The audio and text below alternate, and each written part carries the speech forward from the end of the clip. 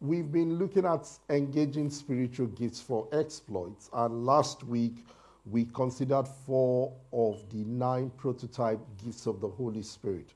We looked at the gift of the word of knowledge, the gift of the word of wisdom, the gift of faith, and uh, prophecy. We established that there's no one in the body of Christ that is without a gift. God has given a gift to every single person. Now, whether we operate in those gifts is another issue, but we all have a gift from the Holy Spirit. And that uh, we also have to be mindful that although we have one or two gifts that we can operate in regularly, uh, pretty much the Holy Spirit can operate any gift through a believer based on the need of the hour. If there is a need that needs to be met and there is a believer there, even though that may not be the gift that you operate in consistently, the Holy Spirit can choose to operate it through you. So there's a need for openness, there's a need for sensitivity as we allow the Holy Spirit lead us. The other thing we established last week is that the gifts are not just operational in the church service like this. They are not just operational in the body of Christ when we gather together.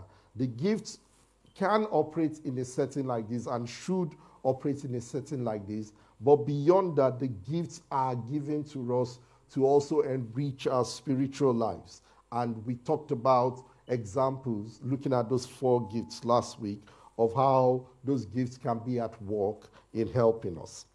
So today we're going to look at the remaining five gifts of the Holy Spirit and hopefully round up the series. The first gift we're looking at this morning is the gift of healing. The gift of healing. Now, as per the Great Commission in Mark chapter 16, verse 15 to 18, one of the things that Jesus wants all of us to be able to do for him is to pray for the sick. Jesus said, the Mark 16, 15 says, and he said to them, Go into all the world and preach the gospel to every creature. He who believes and is baptized will be saved, but he who does not believe will be condemned. And these signs will follow those who believe. In my name they will cast out demons. They will speak with new tongues. They will take up serpents, and if they drink anything deadly, it will by no means hurt them. They will lay hands on the sick, and they will recover. So, part and parcel of the Great Commission is preaching the gospel to those who do not believe. But it's also demonstrating signs and wonders, including the laying of, of hands on the sick and they get their healing, demonstrating that gift of healing. So Jesus says that if we will act, carry out those actions in faith as we go out to preach the gospel, people will receive their healing. So, what it means is that the Holy Spirit can manifest this special gift through any believer so that we can bring healing to anyone of any kind of disease that they may be afflicted by. Now, the main thing I see here is in that going, because it says, These signs shall follow those who believe. And I have seen this operationally in my life many times when I have been on like missions to places that I had not been to before, preaching to people that I had not met before. I find that there's an extraordinary level of faith that makes me operate in levels that I have not operated in before. And that words of Jesus that says, This signs shall follow those that believe. Because there's really no effective way to preach the gospel without the manifestations of healing and signs and wonders. There's nothing that gets people more convinced quicker than anything when they begin to see the power of God at work. The Apostle Paul said to the Thessalonian church, He said, We didn't come to you in enticing words of men. And the Apostle Paul is one of the most eloquent men that ever lived. But yet he recognized that the power behind the gospel was not in the eloquence with which it was delivered. He said, But we came to you in the demonstration of power and of the Holy Ghost. I think if we will obey God more, in going out to the world, and you don't have to travel to a missions field, like the example I gave, if you would recognize that everywhere that God has sent you to is a mission field, your work is a mission field, your neighborhood is a mission field, Northampton is a mission field, if you live in Northampton or wherever you live, is a mission field. And you will recognize that the people in those areas where God has sent you to, they are harvests that you need to go after.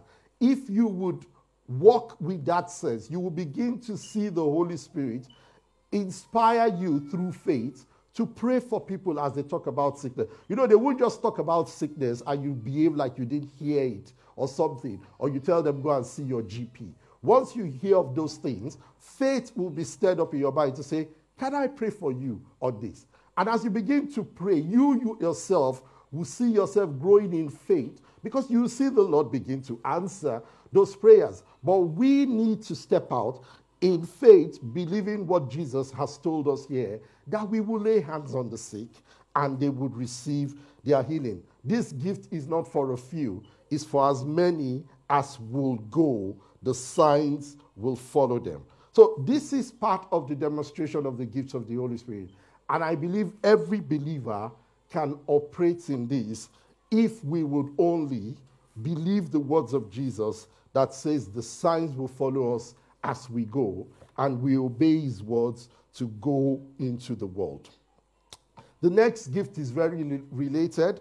It's the working of miracles. As a matter of fact, the gift of faith, the gift of healing, and the working of miracles are classed together as the power gift because almost always those three gifts would operate together. If you are going to uh, be able to pray for someone to receive their healing or for miracles to be worked, almost certainly the, you need the gift of faith. Your faith needs to grow to a level that is beyond your everyday sort of operational level. So those three almost always work hand in hand. Now, some of the different Bible dictionaries describe the word miracle as an intervention in the natural universe by God. So miracles are the handiwork of God. There's no one else that can do it. It says a miracle is a phenomena that transcends natural laws. You see, when miracles operate, natural laws get suspended. In fact, as a matter of fact, it's like an acceleration of the natural. What would have happened in the natural over years, God does it in seconds to minutes, as it were. It's a divine act by which God reveals himself to people. Nothing reveals God to people more than miracle. And I believe in today's world, we need God's miraculous acts again more than ever before. Because if there's a generation that doubts the existence of God, there's no generation more than our generation. And it's because they've not, they've not seen these things. You know, for, for God to do something through us to a point that cannot be denied. There was such an example in the Bible when Peter and John they, they, they helped uh, bring healing to the lame man by the beautiful gate. And the council of the Pharisees said that such a great thing has been done that it cannot be denied. Everyone knew the man by the gate. You know, in fact, maybe he's the one that they used to describe that area. If somebody comes newly to the town and says, I'm trying to go, can I find the beautiful gate? And they tell him, okay, take this direction, take this direction. When you get to the beautiful gate, you will see a lame man there. So it probably had become a signpost that they were using to describe. And for God to heal that kind of person, there's, there's no greater way. They said a miracle has occurred that cannot be denied. And we need more of those things. Several examples. The life of Jesus, the life of the apostles was full of miracles. If we study the Bible carefully, from the beginning to the end is literally one miracle after the other. God is still a miracle working God. He is the same yesterday, today, and forevermore. That's what God's word tells us. So if he was a miracle working God yesterday, he's not changed his mind about working miracles. One of the things I forgot to mention about the gift of healing is that when you look at the, the, the, the, the way the Bible describes it, it doesn't call it the gift of healing, it calls it the gifts of healing, plural, the gifts of healing. And that tells me that that gift is not just one gift, it is several gifts enveloped into one. And if you've seen people who operate in those gifts, many of them, it's almost like they find it more, it's much easier for them to operate in the gifts of healing for certain kinds of conditions over others. There are people that it's almost like their specialization is in praying for people that have cancer, for them to get healed. Some people is musculoskeletal problems like back pain and things like that. Some other people is for genetic disorders. You know, in a man called um, Robert Liardon wrote a book, God's Generals. And, and if you've not read that book, I definitely recommend it for you to read because if there's anything that will stir up the faith in you to say, beyond the days of the Acts of Apostles, if there was a dispensation where God operated in the miraculous, it was also in the lives of these people. There's one of those generals by the name A.A. Allen. There are still videos of him on YouTube. In fact, I still watch one this morning to just build my faith and encourage me. A.A. Allen is like his specialty was in creative miracles. Creative miracles. And by creative miracles, I'm talking about body parts that were not there before, growing, or body parts that should not be there disappearing. So it's the sort of person, you know, people will, they will bring people that they were born with one leg shorter than the other. And before they leave, the other leg will grow to meet the other leg, as it were. He was that kind of person. People on wheelchair or in bed, they, they will literally bring people from hospital, in hospital bed. One of the ones I saw this morning was this guy had a tumor on his back that had paralyzed his lower limbs. They brought him there in the bed. And within a couple of minutes, A.A. Allen prayed for him, touched his back. People had to turn him around for him to be able to touch the back. The man was that paralyzed. The man got up from the bed and walked. Now, so when we talk about gifts of miracles, it's, it's a package, it's not just one. Sometimes people may be able to operate in certain dimensions for certain diseases more than others, as it were. But it's, it's a package, as it were. But the most important thing is to allow the Holy Spirit use you at the time it desires. In time, you may find that the Holy Spirit is calling you to pray more for people with certain conditions than others. But the most important thing is to make a start. Remember that the Bible tells us that absolutely nothing is impossible with God and that will include divine miracle that he may want to perform. The third gift we're looking at is the discerning of spirit. This gift is one that is really needed in the dangerous and perilous times that we now live in. You know, the first thing to notice about this gift, he said it's the discerning of spirits. Again, plural. So, not just one spirit, but he calls it spirits with a small s. So this is not referring to the Holy Spirit. This is talking about other spirits that are there that these gifts can help us to discern. I believe when we talk about discerning of spirits, we're primarily talking about three categories of spirits there's demonic spirits, there's angelic spirits, there's human spirits. And I'm going to talk a little bit about them. But what this gift help us to do is to discern when these different spirits are operational and what dimension of those spirits are operational as it were. Now, believe it or not, even though it seems to be the reality of certain continents more than others, demons still possess people, even today. Okay? Well, in some parts of the world, the demons drink coffee and tea. In other parts, they don't. Okay? But demons still possess people as it, as it were. And one of the ways that a believer can recognize the operation of demonic spirits in people is through this gift of discerning of spirit. And people who operate in the gift will tell you of different ways in which the Holy Spirit helps them. Sometimes they say they can almost literally see the demon through the eye of the person. Just looking through, they can see. Sometimes it's just sensing in their spirit that this is the spirit at work. Sometimes it's even smelling. that they just there's just a foul smell in the air, the most foul smell you will ever smell, and they know that there's a demonic spirit at work.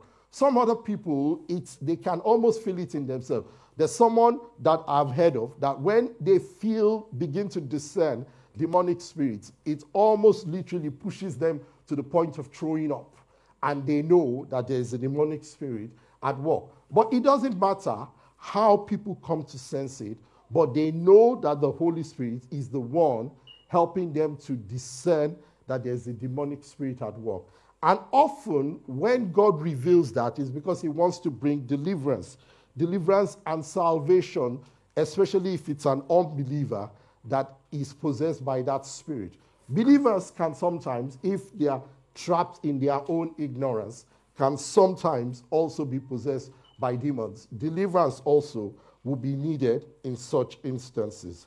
Then there's God's angels. The Bible tells us that angels are also spirit beings and they minister to God's people. All across the scriptures, we see angels appearing to people at different points in time. The Virgin Mary, Daniel, the Apostle John in the book of Revelation. These were just examples of people that had angelic encounters. And in the book of Hebrews, he told them to continue to be hospitable for without knowing, some people have entertained angels in such way. So even in our times, God's angels still visit people. There are people that catch a revelation of angels. But the reason why it's important, because you would think that anyone that sees an angel should immediately know that it's an angel. But the reason why it's important, the Bible says that even Satan can himself de- design himself I co- cover himself as an angel of light. In 2 Corinthians 11, 13 to 14, this it was, he tells us. He said, For such are fake apostles, deceitful workers, transforming themselves into apostles of Christ. And no wonder, for Satan himself transforms himself into an angel of light. You know, there are at least two religions in the world today that are established on the fact that their founders saw angels. In one of them, they say it was Angel Gabriel, but you and I know it was Angel Gabriel that they saw. It was demons designing or uh, demons transforming as angel of light. So the reason why this is important for us is to be able to know whether even what we are experiencing is an experience of the angel of God. You know, last night my wife and I watched um, a, a Christian movie of this guy that had a call to ministry, but he was really, really suffering from the hold of poverty. And he reconnected with an old friend of his who was now doing well in ministry, but that one was operating by a familiar spirit. And that one had called him and told him that I'll take you to the elders, they'll give you special impartation and all of that and all of that. And that night, the Holy Spirit appeared to him in a dream, warning him that, you know, this guy is not from me. Run away from me. And you'd have thought that would be okay. And when he woke up in the morning, he said, I know it's you, Satan, that is pretending like the Holy Spirit. Now that I'm at the point of my breakthrough. And he was rebuking the Holy Spirit as well. So that was like opposites events that happened there. But the point really is that not every spirit that manifests as the Spirit or appears to be the Spirit of God is necessarily the Spirit of God. We will sometimes need discerning, and we do need that now more than ever. In um, the third spirit um, that is important to discern, and I'll give an example at the end of this, is in addition to angels and demonic spirit, we need to be also be able to discern the spirit that walks in people. You know, sometimes people don't need to be possessed by a demon for a wrong spirit to operate in them, as it were. You know, the Bible says that the heart of man is desperately wicked. Who can know it? You know, somebody can be smiling at you, and at the back of it is like, I wish you were dead or something. You know, that can happen, as it were. Sometimes people are taken over by like a spirit of jealousy, a spirit of pride. You know, when you think about psychopaths and serial killer, it's not always written on their head that these people are evil. They just blend in normally. And that is that disguise that enables them to be able to do the job. You know, sometimes it was it, I, I can't remember, was it the police guy that was caught in London, the one that kidnapped um, a lady uh, recently, not, not more than a year ago, that like he, he, was, he, he was like an undercover cop kind of thing. By the time he started to ask the neighbors, they were like, ah, they're just like a regular family and all that. That's how people look on the outside, even those that mean evil for you. But you need the ability to be able to discern spirit. Sometimes you may not even be able to tell the exact spirit at work. All you just need to know is that there's just something not right about this person. And when you begin to sense that in your spirit, that's a signal, a red flag to you to withdraw yourself. It may be to withdraw yourself until you get further clarity as per what spirit is operational. You know, many times we get these sensings of the spirit. That, but you just look on the outside and say, ah, but, but this person is very, very nice. Ah, they are very nice. They did this, they did that, they did that. You don't know that people can, can be very good at disguising themselves. Uh, but we need the Spirit of God to help us discern. In, in Acts, there was an encounter, Acts chapter 16, verse 16 to 18, that if it wasn't for the gift of the discerning of spirit at work, no one would have guessed that this lady did not have the Spirit of Christ.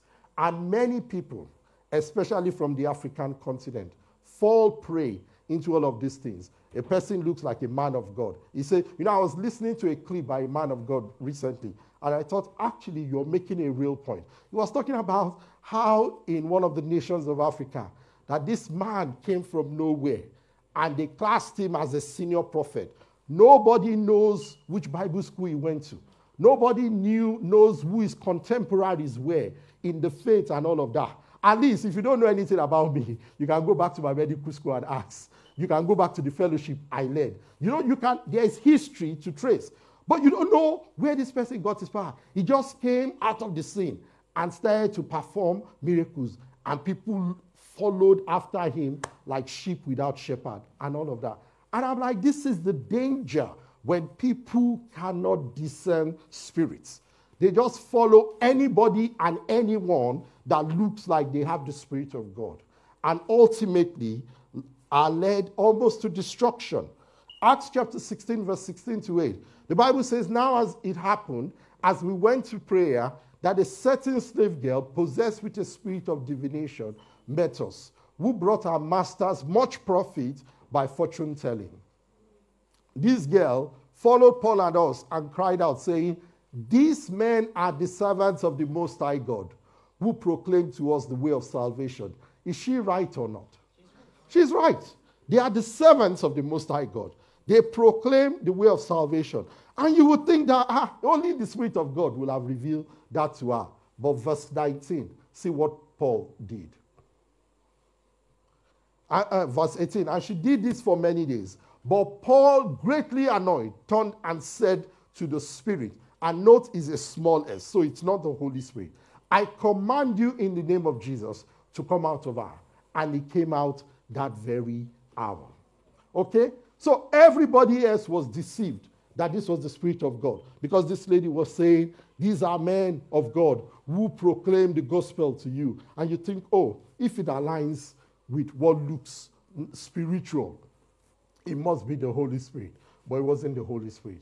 And in the same way, we need to be able to discern spirits at work in people, especially those ones that don't mean us well.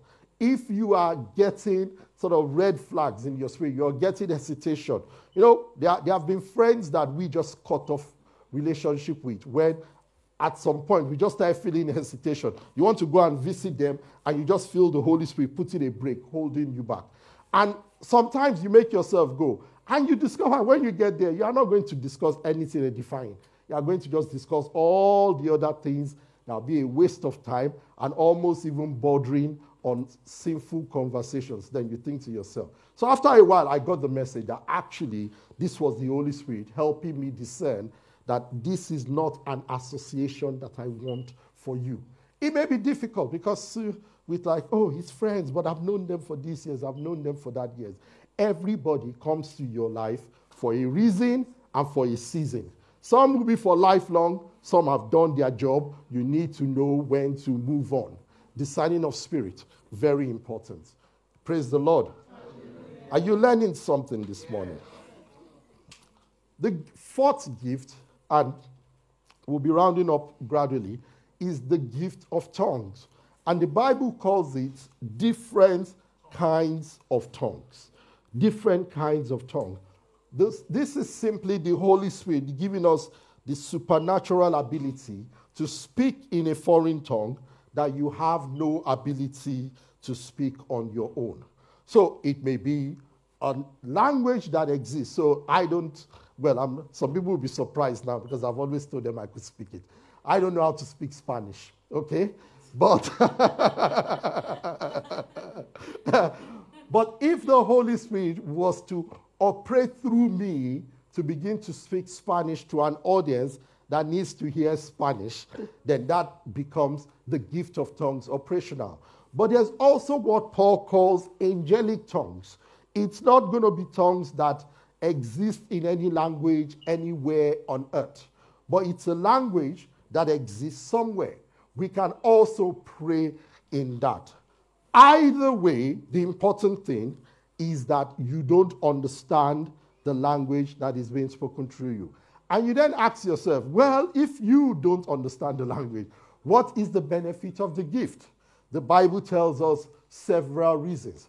One of the reasons it says is that we don't always know how to pray or what to pray for. We don't always know. How many people here, every single time you want to pray, you exactly know what to pray for and you know how to pray for it? I would really come like to learn from you. I don't know. There are times that I, I find myself even in the place of prayer and I don't have the words to pray with. That's what the gift of diverse tongues is for. It's of all the gifts, this is one of the ones that is personally for your own enrichment, for your own spiritual development, to enhance your prayer life so that you can always pray according to God's will. So if you ever find yourself in prayer and you are not sure what to pray about, that's an opportunity to just connect in the Spirit and pray in tongues because the Holy Spirit wants to be able to pray to you. The Bible says the one that prays in tongues, that he bypasses his mind. You know, your thinking is bypassed, it's your spirit connecting directly to God. And sometimes God wants to download things through your spirit. And the Holy Spirit is the one that brings you to that point of sensitivity to be able to receive from the Holy Spirit. It says, We will be speaking out mysteries and only to God the Father, but the Holy Spirit will know exactly what it is that we're praying about there. In Romans 8:26, it says, Likewise, the Holy Spirit also helps in our weakness, for we do not know what we should pray for as we ought. But the Spirit Himself makes intercessions for us with groanings which cannot be uttered. So this is the beauty of this gift. Is given for the spiritual enlightenment of the believer. However, this is a gift also that can operate in a meeting like this that we are. God can just give somebody a message for the church in diverse tongues and they come out and they say it. But when that such message is given in the church, in order for people to edify, another gift needs to be edified, I mean, another gift needs to be at work. And that's the final gift, which is the interpretation of tongues. Interpretation of tongues can operate in a, in a person's personal life. Maybe in your prayer time, you have just expressed a message in tongue, and the Holy Spirit gives you the interpretation of that tongue for your own edification. Or God may just give somebody a message for the church in tongues. Another person in that congregation or that same person may also have the gift of interpretation of tongues or pray through them so that the church can benefit from the message. I remember, I think it was 2014, before we started this church, my wife and I, we went to a church in Milton Keynes. Um, we, we had been told about that, that church, that I, I wanted to see what a diverse church was like. And I heard that there's this church in Milton Keynes that has people from about 14 or so nations there. So I, I, went for their service. I just wanted to get a feel because up until then, I'd always been in an African church in quotes. I wanted to have a feel of what it was. And I learned so many things that day when I went there. But one of the things that I took away and encouraged me was that towards the end of the service, somebody came and gave a message in tongues. And the pastor, or it wasn't even the pastor, it was the person, he was one of the elders that was leading the service that day, said that that was a message from God in diverse tongues. We're going to wait for God to give somebody here the interpretation. And we waited for like a minute or two, and somebody came out and interpreted that message. I was like, this is the New Testament church at work. That encouraged me greatly. But that's the way it should be. Okay? So if you feel that the Holy Spirit is giving you a message for the church, whether in tongues or not, just speak to one of the leaders, uh, especially those coordinating the service. That's why there's usually someone coordinating the service each time to say, I believe the Lord is laying a message in my heart. We will make space and allowance for that. And once that message is delivered, the same spirit that gave the message would give somebody else, or that you, the same person, the interpretation for that in the church. So, and Paul is saying that tongues in the church, if it's not interpreted, does not edify anyone because you don't understand the language. But he said, once a message in tongues is interpreted, it becomes the same as prophecy. Because, so, interpretation of tongues at work is almost similar to prophecy. It's like God giving that message. And last week we talked about prophecy, and I said to you that I believe it could very well be the greatest of the nine gifts because it's given for the edification, for the comfort, and for the exhortation of the brethren. And Paul says, above all, desire to prophesy. So we've gone through these nine gifts. We've not gone through them to increase your theoretical knowledge. It's for you to be aware that you should be operating in these gifts, and the Holy Spirit could operate them through you. Some of these gifts are already resident in you. There are other gifts that the Apostle Paul talks about in Romans chapter 12, verse 6 to 8. Like I said, we use this nine as the prototype, but they are not the only gifts of the Spirit. He said, then, having then gifts differing according to the grace that is given to us, let us use them. If prophecy, let us prophesy in proportion to our faith. Or ministry, let us use it in our ministry. He who teaches in teaching, he who exhorts in exhortation, he who gives with liberality, he who leads with diligence, he who shows mercy with cheerfulness. You know, it's, it's surprising to me that even things like giving, leading, showing mercy can be gifts. There are people who are gifted to give liberally. They, they will give to a level that will shock you to your marrow.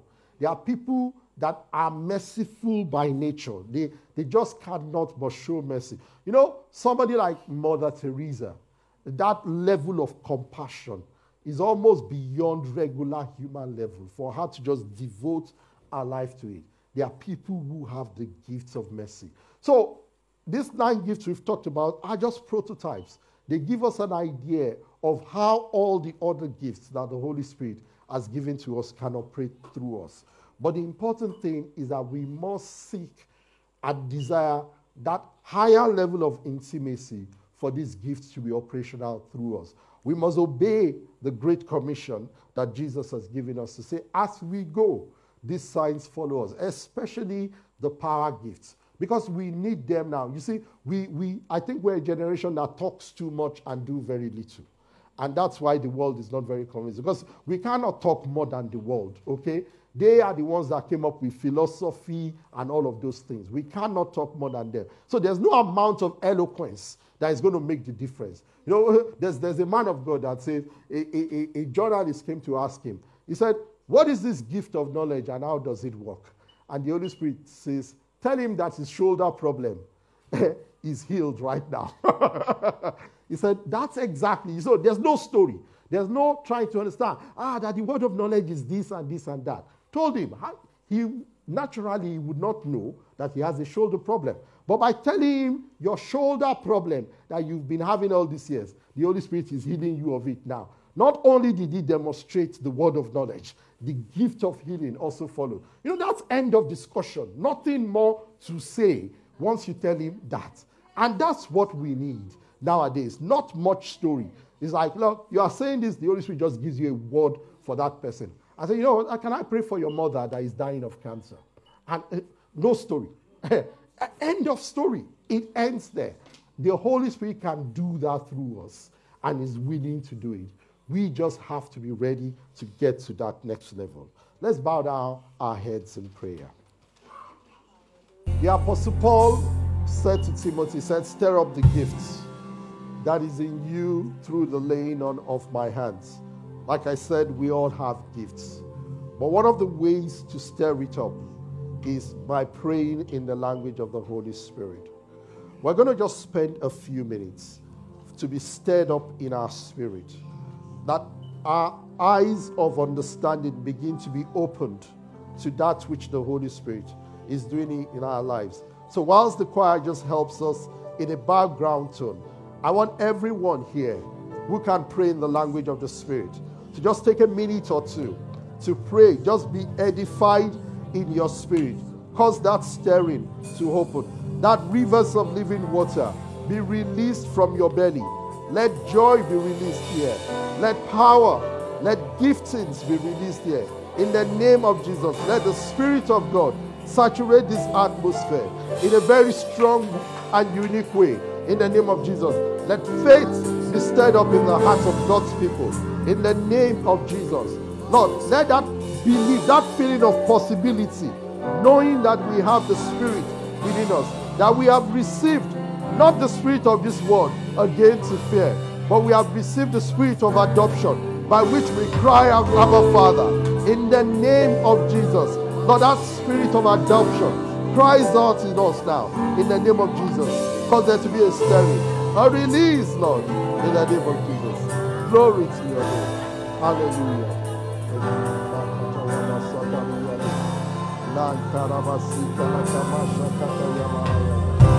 The name of Jesus. Oh, come The body of God in the sanctuary.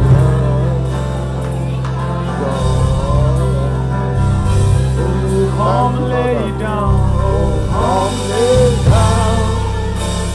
The you.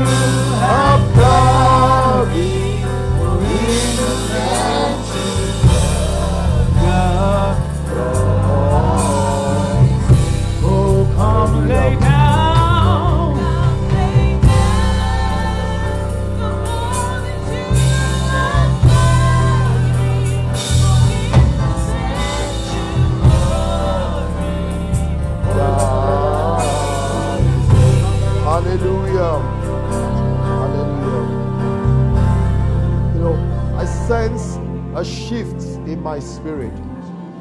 A shift where I've been moved to another level. Yeah, just, just watch out for how the Holy Spirit begins to operate through you. How those gifts begin to manifest like never before. The word of knowledge, the word of wisdom, gift of prophecy, the gift of faith, gifts of healing, working of miracles, speaking in diverse tongues, interpretation of tongues. In the name of Jesus, Lord, we see it at work in our lives. Discerning of spirits. Thank you, mighty God. For in Jesus' name we pray. Amen. Amen. Why don't you just appreciate the Lord this morning?